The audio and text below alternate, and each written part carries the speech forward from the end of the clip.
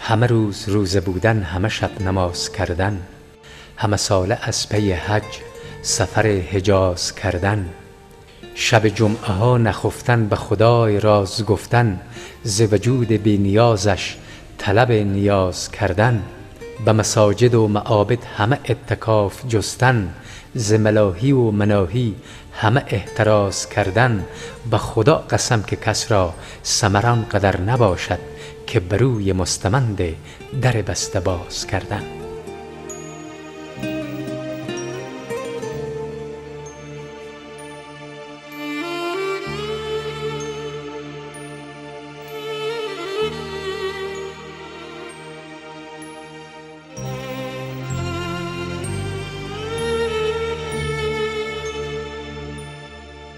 ما داریم ما احتیاجیم ما چیزی نداریم. این مردم هم تباه شد. این مردم فیصله شد. از سنگه و از احتیاجی و عقلداری.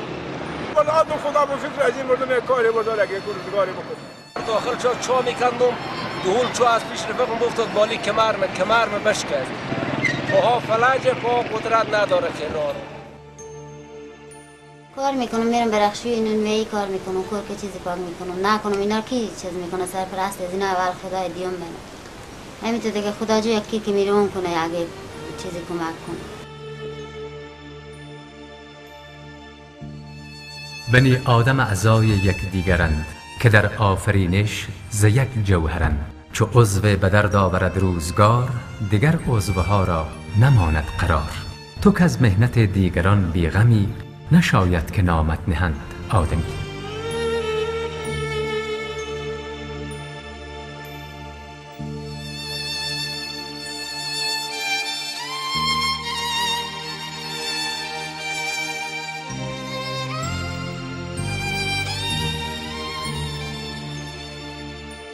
هموطن عزیز و ثروتمند من بیا به چشمان نگران مردم اطراف خود کم دقیق شو.